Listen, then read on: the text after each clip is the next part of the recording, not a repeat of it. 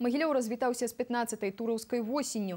Фінальным акордам мерапрыемстваў, прысвечаных 80годдзю народнага артыста СССР кінарэжысёра Віктара Турава, стаў вечар памяці славутага земляка. На сустрэчу з гледачамі завіталі яго родныя аднакласнікі, калегі і вучні. Віктор Тураў, кінарэжысёр, імя якога ўнесена ў спіс 100 самых знакамітых кінематаграфістаў планеты. Як узгадваюць яго аднакласнікі, ён марыў пра кіно з дзяцінства. Он меня познакомил, во-первых, с театром.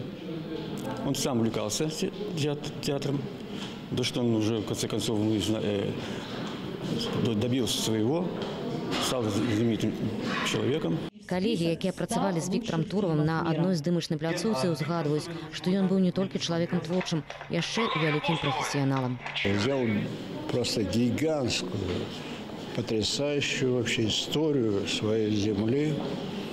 Он безумно был как бы человеком преданный и не всегда вспоминал то, что он родился в Могилеве.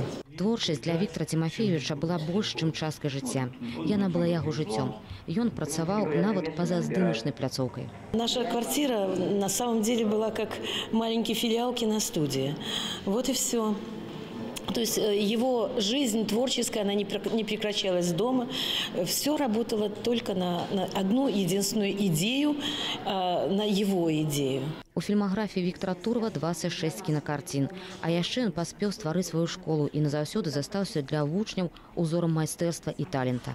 Хочется, на самом деле, как мастер до конца своих дней, заниматься настоящим делом, то есть снимать кино и делать это э, от всей души честно, добросовестно и э, выразить э, м, всего себя целиком, как это удалось и ему. Ірына Бардзілоўская, Мікалай Соболеў, Навін рэгіён.